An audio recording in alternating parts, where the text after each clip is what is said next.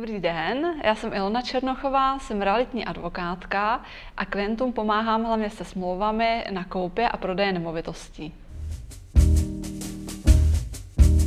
Milí přátelé, dovolte, abych vás přivítal u dalšího z našich rozhovorů na téma, jak podnikají profesionálové a mým dnešním hostem zácným je realitní advokátka Ilona Černochová. Ilono, díky, že jsi si udělala čas, Ahoj, přišla k tomuhle rozhovoru. Děkuji za pozvání. Uh, já jsem Ilonu pozval, protože se mi velice líbí, jak uh, má nastavené podnikání, jakožto maminkatelka, podniká s malými dětmi. Při- Přitom má velice úspěšný biznis vlastně v advokaci, takže o tom se dneska budeme bavit. Jak se podniká realitní advokátce v Česku? Eh, Podniká se mi dobře a mojí náplní práce eh, je realitní právo a klientům pomáhám prodávat a kupovat nemovitosti. Mhm. Uh, ty, já o tom vím, že ty se vlastně k tomu dostala postupně, že si právě uh, z hlediska toho, aby se mohla věnovat i rodině, se rozhodla, že si vlastně zúžíš tu specializaci, což je poměrně jako netradiční jako přístup, jako u advoka- advokátů. Spousta tvých kolegů se snaží dělat uh, tu generální praxi, takže jako jak, jak to u tebe probíhalo tady ten...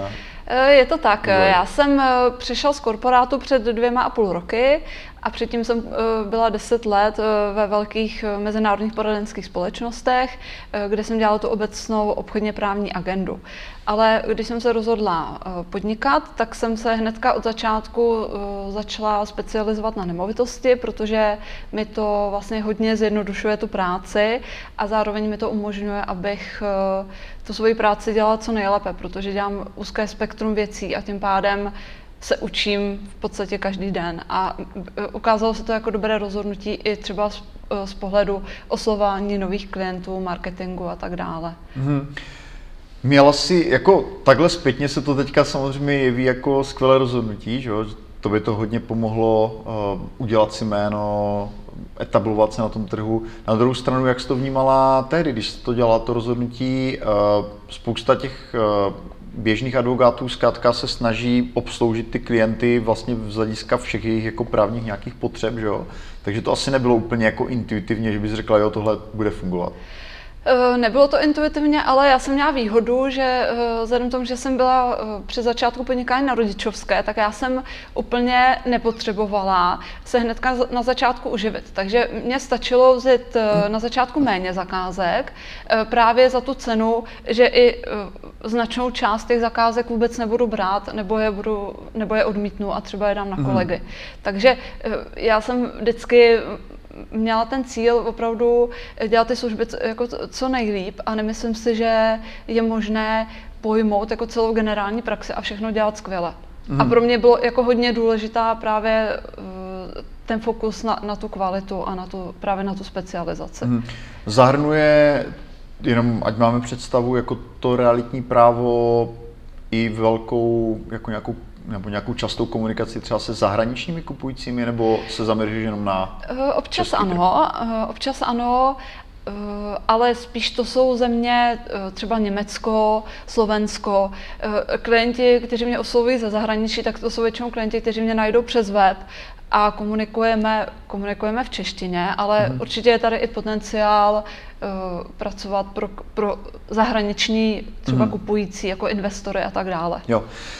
Uh, mě přijde jako fascinující, že ta- ten přerod, jako uh, vlastně z té korporátní právničky, uh, vlastně v ženu, která začala podnikat, jako pravděpodobně si asi dělala hodně i z domu, že jo, nebo... Ano. Jo, to znamená, že ta, ta změna musela být obrovská. Jaký je ten hlavní rozdíl v té právní praxi, jakoby v korporátu a takhle vlastně v tomhle, v tomhle stylu? Jako... Tak eh, já si myslím, že ten hlavní rozdíl je v tom, že eh, když je člověk v korporátu, tak si tu práci nemusí schánět. Tomu zkrátka dodává jeho eh, zaměstnavatel v podstatě. Kdežto, když člověk dělá na sebe, tak nevím, 30 až 50% toho času věnuje jak akvizicím zakázek, oslovování klientů, vztahům a vedení kanceláře. Takže mm-hmm. jako z mýho pohledu je to úplně jiné rozložení té agendy. Jo. Uh, máš i vlastní kancelář nebo pracuješ z domu výhradně? Pracuji nebo jak? z domu a mám eh, zasedačku pro jednání, když třeba Jo. podepisujeme smlouvy. Mhm. Uh, jak třeba probíhá tady tohle? To je, myslím, jako hodně zajímavé téma, která se zdaleka netýká jenom práva, týká se vlastně rodičů, kteří jsou na volné noze a uh, pracují z, doma, čas, pracují z domu často. Jak to máš třeba vyřešené ty, abys mohla třeba rozumět, telefonovat s klienty, nebo se věnovat jako soustředěně na nějakou práci? Vím, že každý jako používá trošku jiné techniky, že? aby si jako vytvořil ten prostor. Tak jak, jaké jsou vlastně u tebe ty, které se jako nejvíce osvědčily? Eh, já nemám jako žádné speciální techniky, protože eh, u mě je hodně důležitý ten aspekt, že já mám omezený čas na tu práci, kdy mám hlídané děti, protože vždycky, když já pracuju, tak děti, děti jsou s chůvama, jinak by to nešlo. Doma nebo někde jinde? Eh, většinou doma, jo. ale jsou na to naučené, takže oni za mnou nechodí. Takže hmm. já mhm. mám vyhrazenou jednu místnost, kde mám vlastně svoji jakoby kancelář, kde mám svůj počítač a stůl a já si ráno k tomu sednu a jedu v podstatě. Jo? A samozřejmě dělám si nějaké pauzy a tak, ale eh, je to pro mě v pohodě. Jako není to pro mě žádný problém, i co se týče telefonátů. Jako mám klid na tu práci, protože mám vyhrazený prostor hmm. doma, eh, kde trávím ten pracovní čas.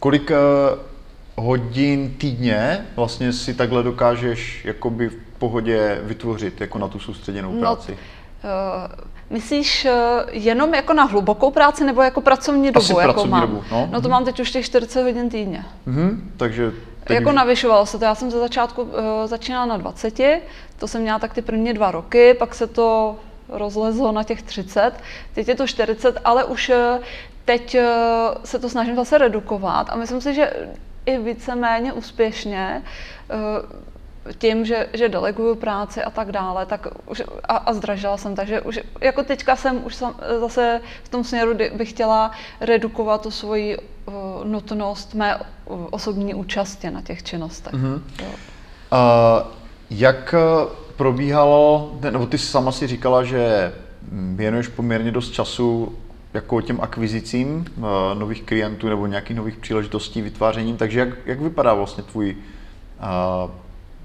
tvůj marketing, vlastně tvoje prezentace těch služeb, co ti vlastně nejvíc pomáhá uh, se dostávat jakoby, k novým zakázkám?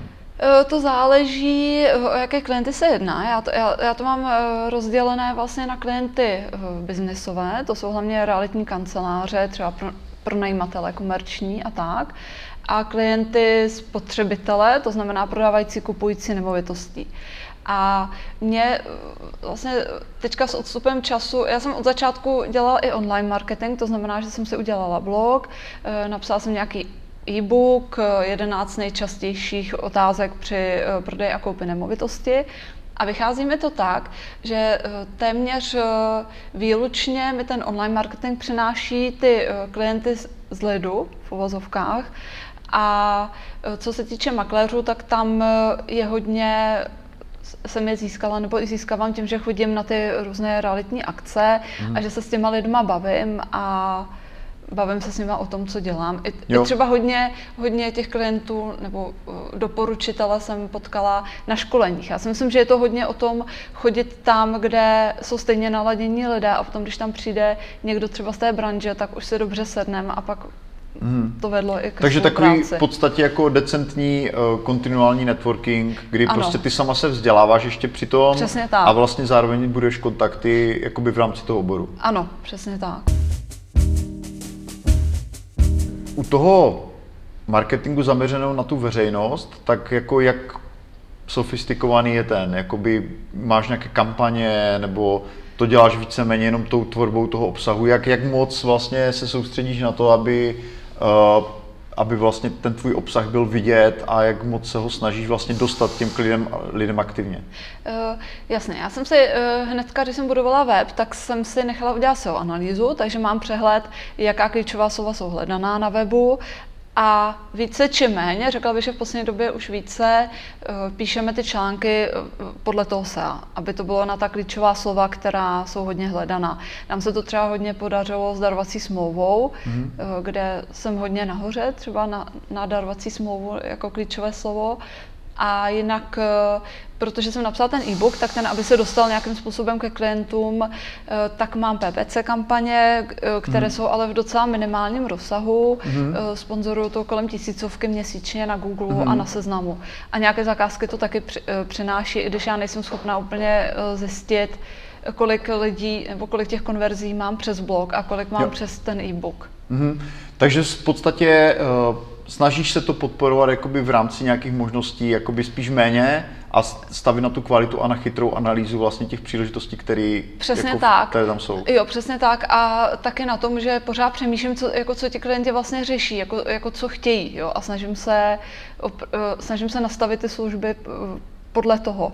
Mm-hmm. Jo, i, je to i hodně o tom, co třeba píšu na tom webu, že mám prodejní web, což není úplně v naší branži uh, obvykle. Mm-hmm. Uh, co to znamená, nebo prodejní web? Jako, jak prodejní, si, co si tím představit?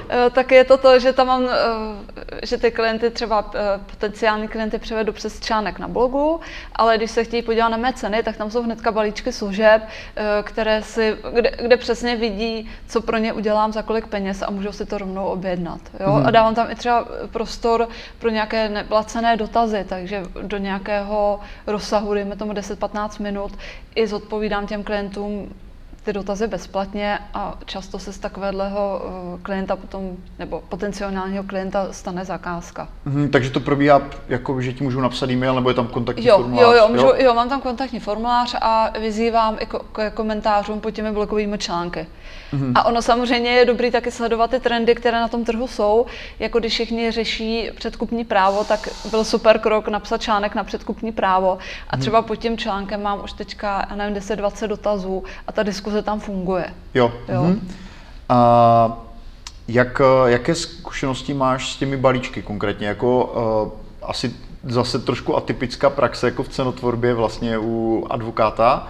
Takže jak to je koncipované, máš je třeba nějakým způsobem, nebo jako, mm, jako k jaké verzi si dospěla a proč? Uh, do, jo, uh, dospěla jsem k verzi, kdy ty uh, ceny balíčku se odvíjí od ceny nemovitosti a je to nastavené podle toho, že čím dražší nemovitost, tím je to trošku dražší. A dospěla jsem k tomu, že teďka v ceně balíčku je zahrnut Eh, první návrh nebo první revize té smlouvy.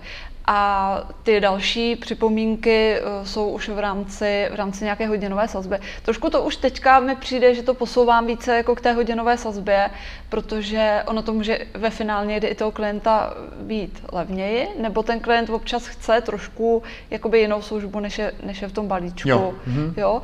Ale spíš teďka mi to přijde, že se že inklinuju jako víc k té hodinové sazbě. Mm-hmm.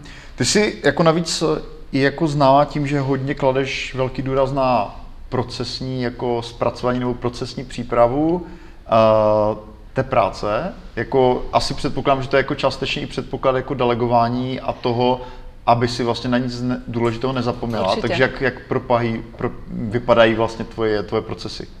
Eh, tak eh, právě i ta možnost to procesovat velmi úzce souvisí s tou mojí specializací úzkou, protože v podstatě třeba 80% mé agendy tvoří kupní smlouvy, což dělám podstatě jakoby pořád to samé, ale pro různé klienty v různých situacích a mám procesy eh, na to, když klientům připravuju kupní smlouvu a úschovu, mám další proces na to, když kontroluju kupní smlouvu a úschovu a pak mám proces i na to, když podepisujeme smlouvy, eh, když eh, provádím tu úschovu, protože těch úkonů je tam opravdu hrozně uh-huh. moc. A co mi přijde skvělé, používám teda Procesoid, a co mi přijde skvělé, že na základě těch zkušeností a nových poznatků, eh, když přijdu na něco, třeba setkám se s nějakou novou situací nebo aspektem, tak okamžitě to do těch procesů můžeme doplnit a tím pádem eh, vlastně kumuluju úplně skvělé know-how, eh, které se týká téhle agendy. Mm-hmm. Protože teď třeba ten proces má, nevím, 40-50 bodů, ale velmi jako průběžně to opravdu doplňujeme, vylepšujeme, doplňujeme. Mm-hmm. Jako zase obrovská výhoda, že oproti lidem, kteří to dělají z hlavy. Určitě. Uh, co, co jsou uh, pro tebe takové jako hlavní jako nejlepší praktiky, když uh, se rozhodne, že na něco založíš proces? Jaký máš třeba postup, jako co tam jako dáváš, jak jsou třeba podrobné ty popisy jako těch jednotlivých kroků? Eh, toho záleží, snažím se to jako nedělat zbytečně, zbytečně dlouhé, ale zas tak, eh, zas poměrně podrobně tak, abych byla schopná opravdu navést, eh, navést k tomu ty spolupracovníky. Mm-hmm. Jo, takže je to určitě procesu činnost, která se nějakým způsobem opakuje, a vlastně já procesuju teďka už všechno, všechno co, co jde, protože mi to přijde. Já jsem třeba zprocesovala i převzetí zakázky, což mi hodně pomohlo a pomohlo to i klientům, hlavně makléřům, kdy oni vědí přesně, oni mají ode mě seznam podkladů, které mi mají dát se zadáním případu. A tím pádem my všichni šetříme čas, kdy si uh, vyměňujeme, kdyby jsme si vyměňovali e-maily a jestli to je všechno, kdyby to nebylo všechno, tak, tak mi to ještě, tak mi ještě hmm. napiš a podobně. Takže my klienti makléři mají přesný seznam toho, jaké podklady a jaké informace eh, chci, uh, aby mi zadali zakázku a já na tom začala okamžitě pracovat. Hmm. Dokážeš třeba odhadnout u sebe, uh, kolik procent času a třeba jaký výskyt chyb ti, ti to procesování těchto těch jako opakujících se činností jako šetří, nebo? Mm, to asi, to, to asi úplně nedokážu. Jako procento chyb určitě bych řekla, že třeba, kdyby člověk ten proces neměl, tak to udělá, dejme tomu, třeba na 70-80%. Hmm. Možná, hmm. když ten proces má, tak eh, tam jsou, hmm. jako, jako když čtu potom to smlouvu podle toho procesu, tak zpravidla alespoň v jednom bodu mě to uh, připomene něco, jako co bych tam normálně, co bych se neuvědomila. Hmm, tak to je dost velký rozdíl. No, 70, je. 80% nebo 100. Hmm. A, a časově, řekněme? Eh, časově, eh, jako už to úplně nemůžu, ne, ne, nevím, jako s čím to mám porovnávat. Jo. Ne, nevím, kolik to třeba zabere času kolegům, kteří jako dělají obecnou agendu a a, a mě, když dělám pořád ty kupní smlouvy, ale mě to šetří čas uh, z důvodu, že já to můžu delegovat. Mm-hmm. Jo, takže já převezmu zakázku, často to deleguju a potom to kontroluju a to mi určitě šetří, myslím si, půlku času, možná i víc, mm-hmm. který ho na tom strávím. Když uh, se ještě tady v závěru tohohle rozhovoru uh, dostaneme k tomu tvému jakoby odbornému tématu, tak co jsou teda věci, které Češi dělají nejčastěji špatně vlastně při nákupu nemovitostí nebo při prodeji, řekněme? Eh, no já si myslím, eh, ono větší riziko v podstatě pro ty kupující, protože eh, když někdo kupuje nemovitost, tak by měl vědět, jestli je v pořádku právně, hlavně samozřejmě i fakticky. A co klienti podle mě nejvíc podceňují, eh, tak je, že oni za mnou přijdou až okamžiku, když mají podepsanou rezervační smlouvu. A ta rezervační smlouva je už eh, velmi je už závazná v podstatě právně, je to, má i často povahu smlouvy o smlouvě budoucí kupní. A ta rezervační smlouva by měla, už, už by tam měly být sjednány ty základní parametry, eh, jak ten prodej eh, a koupě nemovitosti proběhne. To znamená hlavně, jak bude vypořádána kupní cena. Že? To je i riziko, které já vnímám u těch úplných lajků, jako tam můžou přijít obě strany o peníze. Takže to je určitě to základní. A pokud se ke mně dostane rezervační smlouva, tak já netrvám na tom, aby jsme se bavili hnedka o kupní smlouvě, protože ten realitní trh je dneska hodně, hodně rychlý a uh, realitní kanceláře i někdy vyvíjejí nátlak, i třeba prodávající na ty kupující, aby se co nejdříve to podepsalo, ta rezervačka. Ale je dobré třeba už do té rezervační smlouvy dát v pěti bodech ty věci, které jsou důležité pro ten obchod. Jo, a to mhm. je otázka, to je půl hodina mého času nebo hodina a může to potom zabránit hodně nepříjemnostem při vyjednávání o té kupní smlouvě. Jasně, takže často i něco, co by měla ta realitka dělat jako automaticky a chránit tím vlastně ono obě dvě to... strany toho, toho vztahu, no, tak on... v těch smlouvách chybí. Jo, jo, to je jako, tahle, ono je to jako většiné téma, koho realitka vlastně zastupuje. Já se spíš myslím, že realitka zastupuje prodávajícího a uh, ten kupující pro, protože prodávající většinou s ním má to zprostředkovatelskou smlouvu, platí tu provizi a aby kupující spolehal na to, že ho ochrání jako realitka a její smlouva, nemyslím si, že je to úplně šťastné. Mm, jasně. Uh, a poslední otázka. Uh, když srovnáš vlastně tu svoji právní praxi vlastně v tom, v tom korporátním prostředí a uh, na volné noze, jako měnila bys jako ještě někdy, nebo? Ne, už někdy více. Už někdy více. To byla i moje vlastně největší motivace, proč jít na volnou nohu, abych eh, mohla skloubit eh, ten pracovní a osobní život a abych hmm. se už nemusela nikdy vrátit do té kanceláře, kde bych seděla od 9 do 5, 7, 8, možná 10. tak to gratuluji a děkuji za rozhovor. Děkuji taky moc za pozvání. Díky, Jelone.